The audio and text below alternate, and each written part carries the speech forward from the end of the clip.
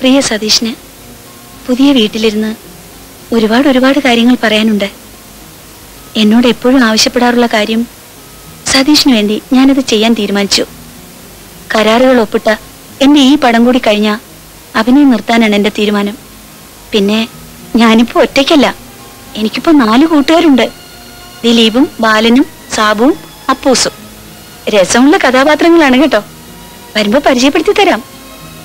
അമ്മയ്ക്ക് സുഖമല്ലേ കണ്ടിട്ടില്ലെങ്കിലും അച്ഛനും അമ്മയും ഇല്ലാത്ത എനിക്ക് എല്ലാം ആ അമ്മയാണ്.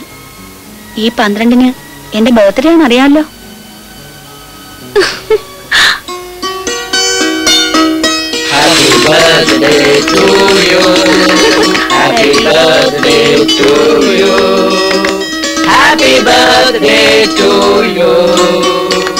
Happy birthday to you. Many happy returns of the day thank you എനിക്ക് ശരിക്കും സന്തോഷായി. അതൊന്നാണ് ഇപ്പൊ സതീഷ് നായരോട് ഉണ്ടായിരുന്നെങ്കിലേ ഒരു ഉഗ്രം ബർത്ത്ഡേ പാർട്ടി.